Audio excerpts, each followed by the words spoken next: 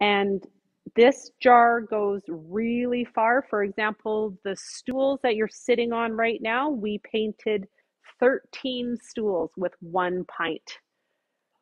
So it goes really, really far. And that was one coat. So I've added paint. I've wiped all the excess paint off of it. I don't know if people can see this. No drip marks. You don't want extra. More paint does not give you a better base coat. All that will do is add excess paint. So if it dries again with brush marks, then that second coat will also have brush marks. So you want to try to avoid that. The first coat never has a good coverage. So again, don't think that by adding more paint, you'll change the color quicker and transition. Some people think, oh, I just want to get this project over with. I'm just going to add one coat and do a heavy coat. Um, you can do that, but to get the best finish, just do one light coat. And again, it was white before, so you're not going to see a big difference. And I wish you could kind of, let me see if I can tip this here. So super light. And then I'm getting my edges. When I did my kitchen cabinetry and my bathroom cabinetry, I emptied the drawers and just pulled the drawers out. I didn't actually remove them so that it didn't take up a whole big space. Uh, and then as long as you stagger your drawers to dry, they can just dry right there in the slots still.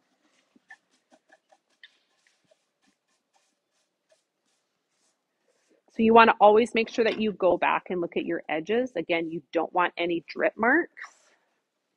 And then big strokes left to right so that you don't have a bunch of little brush strokes. So you want to just do one thin coat again. And if you're doing a big surface area, you almost want to segment it. So um, dining room tables with a um, with like an insert to extend it. Just do like one side, then do the other side. You want to do your edges, your top, and as much as you can do bigger strokes, the better. Yeah. So that there is, I don't know, I'll bring it up to here. That's just the one thin coat. So you can see there's no drips on the edges. The the biggest tip really is just doing the thin coat and then being able to walk away from it. Because the more you play with it, the more you try to get good coverage with it sometimes, the more brush strokes you'll create because the paint's trying to dry as you're still working with it. So yeah, so that's just like the one coat. And if you have a dark color paint already existing there, Yeah, so I'll show you on this green one. I'll do a white on there. So if you're transitioning from a very dark piece to a light piece, then definitely you'll probably have to add three coats. Uh, you could get away with two coats, but I think it's just best to do three thinner coats rather than over apply it. So I am going to scuff sand this one.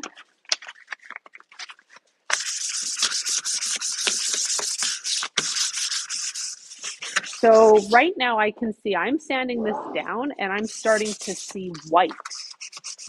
So why I'm seeing white is because this company has done a white primer and then done the color over top of it. So you're going to want to get into the grooves. You're going to want to make sure that you get this little side edge too. And again, I can see scratch marks in this, but it's the right grit sandpaper. You can just see that it's taken the sheen off of it, right? that's 220. That's the 320. Yeah, that's the 320. So you can see it's, and it will turn it white. So anything with a clear lacquer will turn white. Yep. So you'll see the discoloration of the paint. And again, that's normal with anything that's your basic cabinetry refinish from uh, any any companies. When you're working on laminate, it's the same thing. You're still going to want to TSP sand, uh, and then you'll you'll get a little bit of that grit too before you add the ultra grip before you do your paint. So I'm wondering if I should just use the same color. Maybe I'll just use the same color. So again, I always do where the trim is first. Just a habit that I got into. That way you're not getting any drip marks. Sometimes with anything that has an edge, like I said, you want to just make sure you get in the corners. That first coat is not going to look all that great. You're going to see the undercoat. You're going to think that these are brush strokes. You're just seeing the thinness of the paint with the color underneath.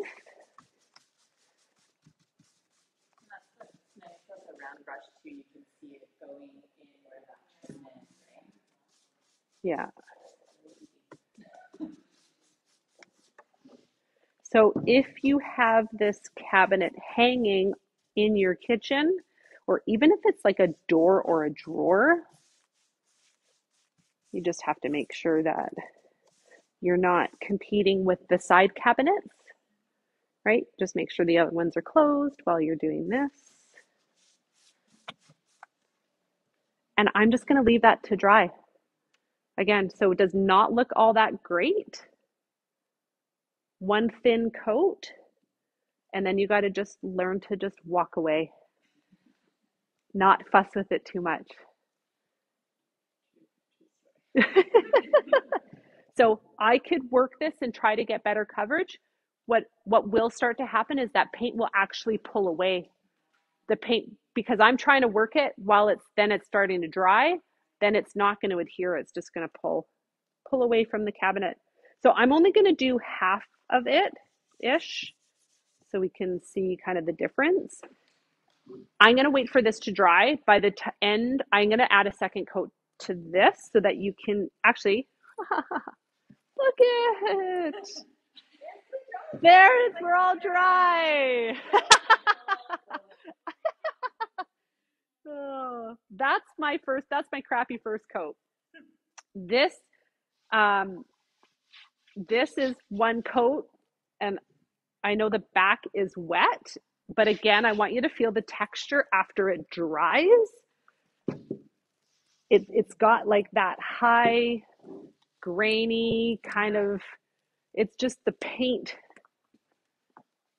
Oh, okay, Yeah, it's kind of grainy, right? So a really light sand, this is where you take your foam core sanding pad and again, you just give it a quick scuff sand. Now, this has had lots of time to dry. I'm to sand it just a little bit more. If your paint's not dry enough and you start sanding, that you'll start to see the undercolor. It'll just start pulling away. This is where drying time is super important. So you can feel the difference now. The bottom has been sanded. Oh, wow. How much drying time typically? They say four hours. But, Yep, okay, they say four hours. okay. So if you're doing a bigger project, usually by the time you get the first coat done, you could probably move on to the second coat. Sorry? You could? You totally could. Yeah, we do workshops where people bring home their projects within two hours, beginning to end. They've painted their sign and they walk home with it. And we always use blow dryers. Fast track it with the blow dryer. Yeah. You're doing a big project too, sometimes your stamina wears out. So just take a break, go out for dinner, come back. Yeah. So bigger projects, first coat, just let it dry. Yep. Go back the next day, sand it down, and then you can do your second coat. Yep. Sometimes it's better because when you're too close to it, you think, oh, that looks like crap. I didn't do a good job. Maybe I should have done something different. So if you walk away from it, come back to it the next day, you do have a different perspective on it. Because once you start your second coat, the second coat always looks so much better. Yeah. When you don't play with it and start like, oh, I'm gonna Yeah. For something like that. Yep. Would you expect the two coats would be sufficient or? Like I said, if you're going to a light color, especially a white, they've got a color called picket fence, which is the whitest white. If you really want a solid white, then I say three coats. Yeah, three coats for sure. Yeah. What happens if different lighting, you can kind of see casts of like, is it really finished? Is it an undercolor? Do I? So third coat just kind of avoids all that. And then if you want to distress it too, sometimes seeing the undercolor and then like scuffing the edges more too, like if that's the look you're going for. Yeah.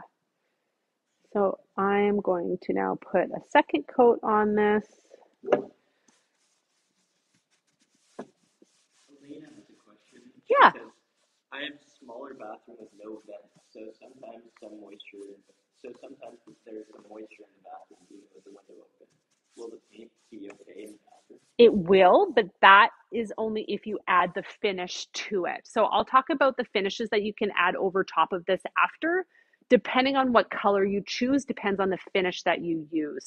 So if you're using lighter colors, you use a product called Tough Coat. Tough Coat, we're actually out of stock on it right now. I know, you're like, go get it. We're out of stock on it right now. Tough Coat is a it's a clear, non-yellowing uh, top coat finish, which is why you use it on lighter colors because it's non-yellowing. I'm actually going to show you how to use the natural stain and finishing oil. It's an oil-based product, but you only use this on darker pigmented colors. So I'm going to show you on the black how to use this in a bathroom cabinetry. Actually, you know what? If you check under our videos, I've done a video tutorial on all these steps as well on my black cabinets for my bathroom. And it gives you the exact step-by-step process on how to do that and it will be fine in an area that in a bathroom that has no fan or I actually don't even have a window in my bathroom either so yeah and it's holding up really really well there are instances where you do not need to add a top coat uh, my end table not going to add a top coat to that that is not something that's high traffic it's not something that I'm putting things on every day. It's just got my lamp on it. And the paint is durable enough on its own. If you're doing a dresser, if you're doing a buffet, it, it really doesn't need a top coat. It will have enough on it. But if you wanted to add that extra durability, then you can do that extra step. Yep. So I can already see that this is starting to dry. all of their paints are a matte finish, so they don't really have a sheen on it. So this one is two coat, so you can see the difference right away of the one coat versus two coat. Now it is a different color, so it does stand out a little bit more, but what a difference, right? So it's got the sheen. I didn't do the edges, but uh, but you get the idea. Perfect. So we will let that dry. Any other questions? What about outside? So if you hmm know that I paint my fence, but Yeah,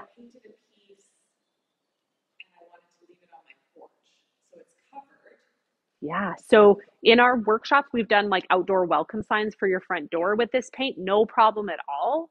Uh, it will hold up well. Uh, plastic patio chairs that are exposed outside. Take this paint to it. Paint like anything that's like sun damaged, just revive it with Fusion Mineral Paint. It's amazing. I tested it two years ago and painted my shed. I was like, I've got paint. I wanted it a barn red. I mixed a couple of colors together so you can create your own colors. Uh, Fusion Mineral Paint on their website has a formula that you can use to create different colors that they don't offer, which is fun.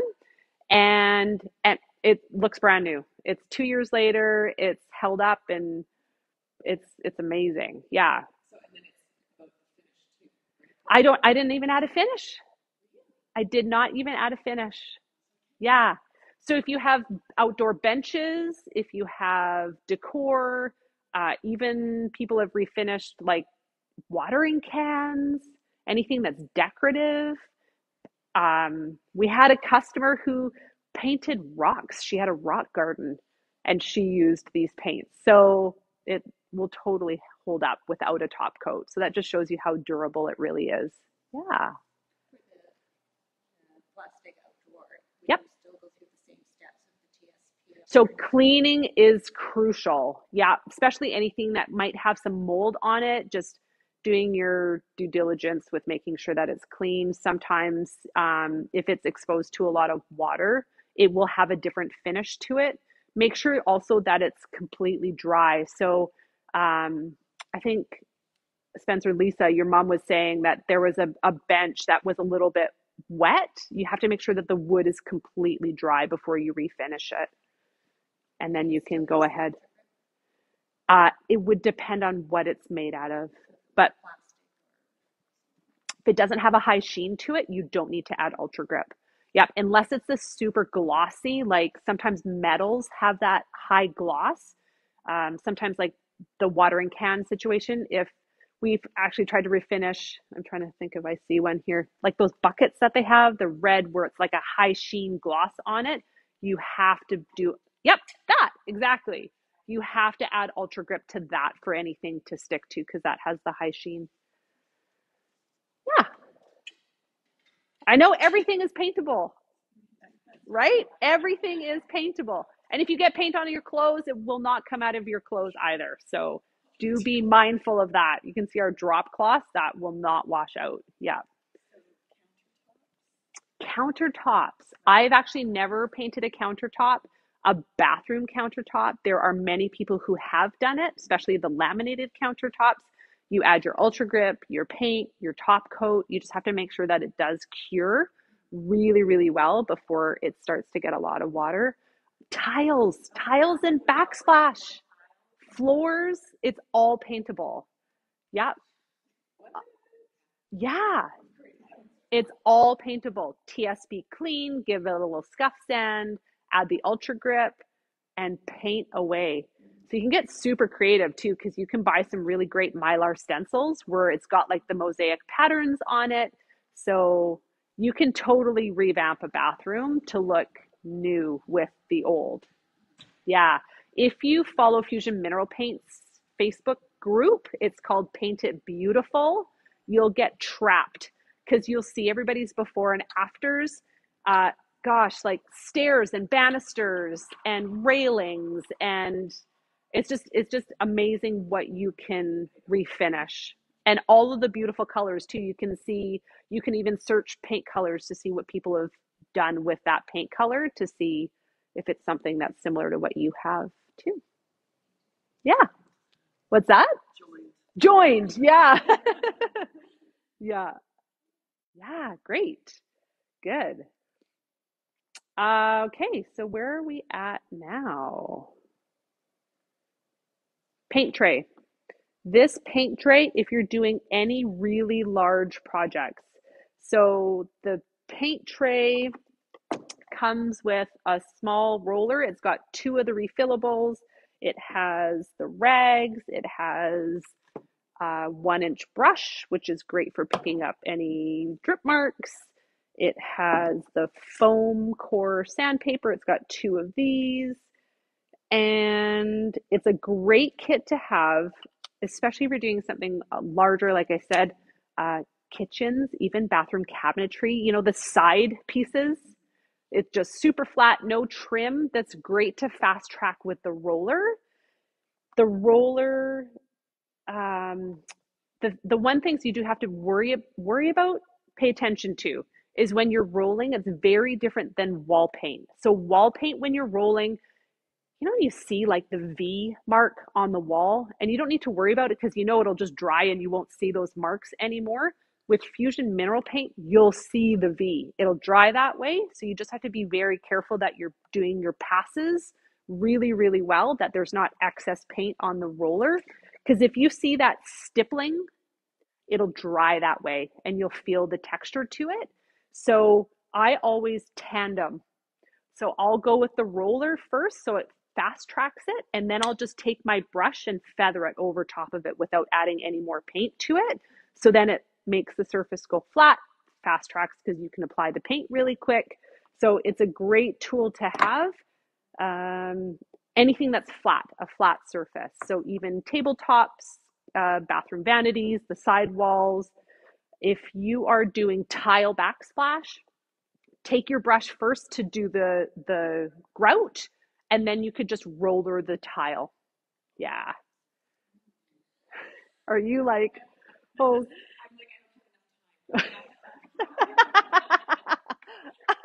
Ah, yeah, I know so many things to paint, right? Okay, so the paint tray, the paint, that's clean water. So I am going to just soak that in there.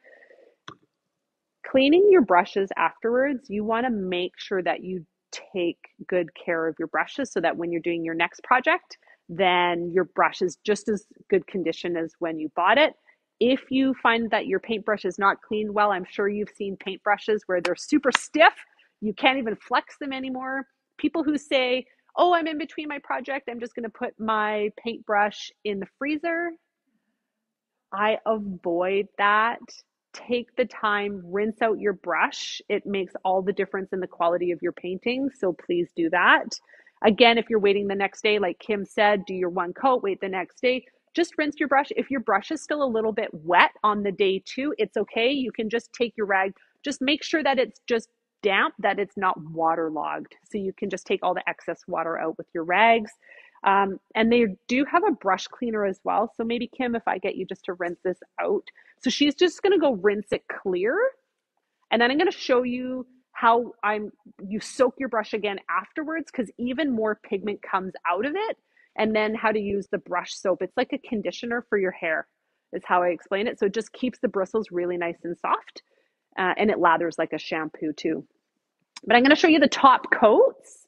So Let's move this. And that was my sanding one. Okay.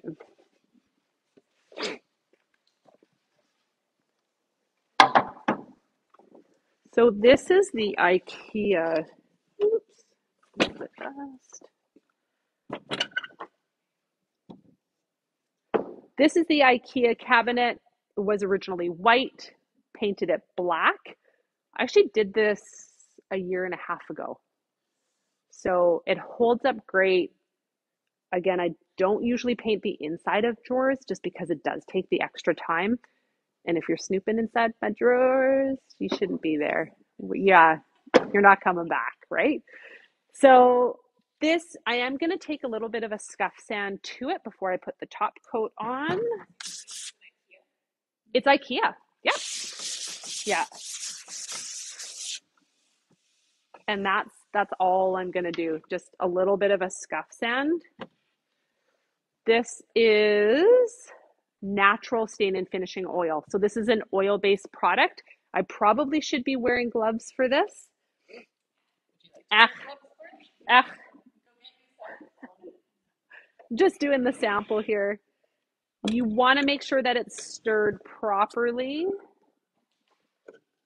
Spencer, behind you, is there a thin piece of wood for stirring? Behind you or there? Uh, yeah. Is there a thin?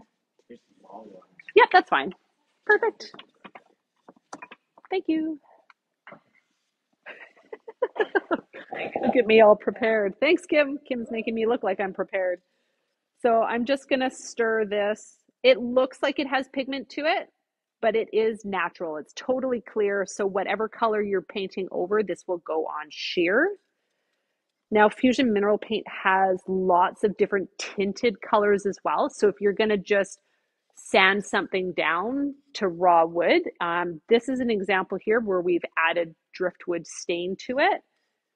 You're going to want to make sure that your wood is completely sanded down to raw wood to stain if you want a tinted stain to it. And again, on the Paint It Beautiful site, there's different finishes where you can mix stains and it can look like that restoration hardware look, which is pretty cool, where you can mix like the white and the driftwood. I know. Yeah. Okay, so that's completely done.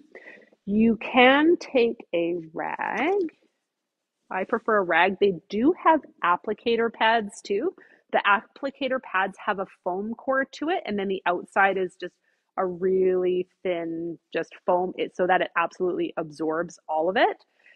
The stain and finishing oil is a like a rub on, rub off application. So the less you put on again, the better. If you over apply this natural stain and finishing oil because you think you're getting a heavier finish or a better durability, what will happen is it's just not going to dry. It'll go completely tacky.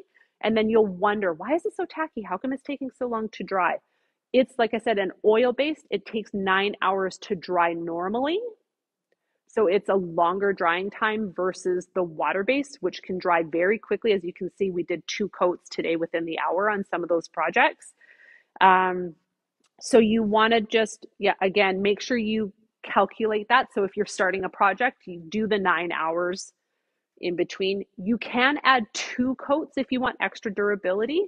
Just don't add two coats back to back. You still have to wait the nine hour drying time. Otherwise, you're just layering wet over wet and it's not going to give you a better finish. So, okay, so I'm not, okay, I'm going to just flip it up and, and kind of do the process. I better use the gloves since Kim brought them for me. Yeah. yeah. Okay, any lint, lint free rag, cotton t-shirt, anything will work well. The applicator pad is great for like like tabletop finishes, anything with a larger surface. And to get extra use out of it, you can just use one side and then let it dry and then you have the other side for another project that can work, extend kind of the use. So I'm just dipping in and then rubbing it on. I did not use enough. I can see that because it's going on streaky and it's completely absorbing right into this material.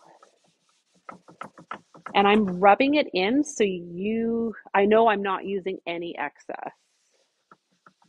If I had excess, you'd see something that was like really shiny and you'd also see drip marks. So I'll just do half of it so you can see the difference. This has a scent to it. You can smell the oil. You want to make sure that you do this in a big area that is hopefully vented. So it's super light. I don't know if you guys can see that. You can see the sheen right now. It does dry a matte finish, but it'll look like almost more of a satin finish compared to the paint with no top coat. So super easy to apply, right? And it just adds that one extra step of durability for your project. Yeah. Any questions? This is for darker colors. Yep, with darker pigment in it. Now the Ultra Grip, um, I wish I had that to showcase. That's actually a brush on process and it would be the same process as, oh, sorry, what did I say? Oh, I said Ultra Grip. We're, It would be the same process as the Ultra Grip for the tough, tough coat. Yeah, less is best. You don't want to over apply it. How are we doing? Any other questions there? We're good.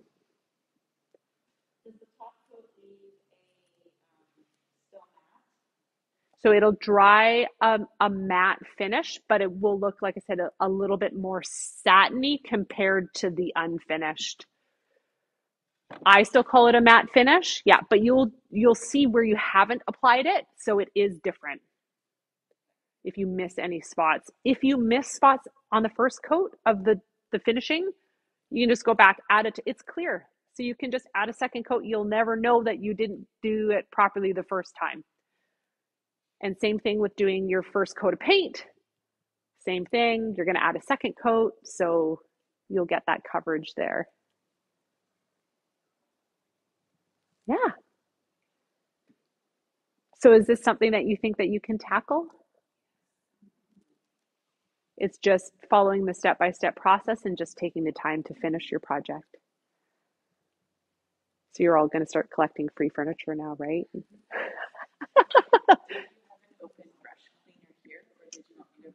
Okay, so I, oh, yeah, if you could bring the, oh no, I have the clean one, the bring, yeah. Okay, so cleaning your brush afterwards, Kim has rinsed this. Did you, that go back in there? No. Okay, oh, I see. I see why you did that. Oh, yeah. I'm making things more difficult than they should be. Okay, the brush soap is a gel paste. So it's like excuse me, that sounded horrible. so it's a gel paste. You hardly need any. And again, you just lather it and it just conditions the bristles and gets all of that pigment of color out of it. This I used, oops, see, look at making a mess again. It just lathers it. It's just like shampoo. Yep. And then you could just rinse that out. In the round brush, So you can see that. That's just the conditioner there in there. makes it clear. Like you leave it soaking for like 30 minutes too, you'll notice like more and more. Yeah, so you want to make sure all the pigment of the paint is out of your brush and then you lather it. If you ran this under under water, you would see it just lather up a little bit more. Yeah, you can just leave that in there. Leave it in the water for another 30 minutes. Yeah, like yeah, I just kind of leave it for 30 and then rinse till it's clear, lather, and then rinse again, and then put it to dry. Yeah, yeah. So all of these things that I used today are all available in a cabinet refinishing kit. So we have kits put aside here. We've got like the tray, the sandpaper. It comes with the 20 number 20 Staalmeester brush. Uh, the brush cleaner is sold separately, but it includes two pints of paint and it's $115. So when you think of the value of refinishing your cabinetry for that cost versus buying a brand new vanity for a bathroom or something, it's pretty incredible the before and afters you can get with just paint. So if you're looking to get like the TSP and everything, we do have them bundled already. So the hardest part of all of this is picking the color. That's the trickiest part. Fusion Mineral Paint has some beautiful paint colors to choose from. We'll put the link in the Facebook group too, our Facebook page live from today. So you'll have that to shop from too. Um, but by all means, feel free to take your time. You can browse through the store. You can ask me more questions. Uh, anything come top of mind right now? Uh, Elena asked in the live, do you know when the clear top coat for lighter will be available? So I'm hoping within the next two weeks. The nice thing about adding a top coat is you don't have to do it right away. So if you do your furniture piece, you even wait a couple of months. I did my kitchen cabinetry. It's been three years and I still have not added a top coat and I've washed it. Um, it is now definitely in need of an extra uh, layer of paint, especially in the drawers that we use multiple times a day. The cutlery drawer, I'm starting to see like scratch marks on under the handles. If I had added a top coat to it, I wouldn't see that. But for three years, it's been like that. So lots of lots of wear and tear. Um, so that just kind of shows you the durability of it. So you can finish a project and go back and do the top coat after. Um, but I'm hoping within the next three weeks that we have it back in stock. Sarah asks, how much fusion paint do you think you would need to cover oak style kitchen cabinets? And she's wondering if the kit would be enough. Uh, two pints. I see. It depends on how many cabinets you have. Um, my kitchen, one, two, three, four, five, six, seven, eight, nine, 10, 11, 12, 12, 14. I had like seven on the bottom, seven on the top, plus my side walls. I did not even use two pints. I chose to do my island a different color, so I added a second color. So I bought the third pint. But this paint stretches so far. You, yeah, for sure, two pints should do the trick. Again, it also depends on if you're transitioning from a super light color or a dark color. So if you needed to add that third coat, you can get an extra pint. Our return policy is if it's unopened, we'll return it back. Um, so a lot of people will end up saying yes, they'll return it, and then they just find another project if they don't use it. But by all means, yes, uh, we have a great return policy on that if it's unopened. So if you buy more, um, buying all the paint that you need, at the same time is super important because Fusion Mineral Paint does have different batch numbers. So you want to make sure that all the numbers from the same color are all at the same time. So if you're buying it all at once, that's a great thing to do uh, just for consistency. Um, but I hope I answered your question. Yeah. Uh, so ask me a question about tile. Yeah. Yes. Yep. You would do a top coat. I would say you would do a top. If you're doing a tile that was in a laundry room that was just decorative that you knew wasn't really going to get a lot of wear and tear, I would say you could leave it. Uh, if you're doing it in a bathroom, for sure, for sure, I would add a, a top coat to it for extra durability. Floors, add a couple layers of top coat.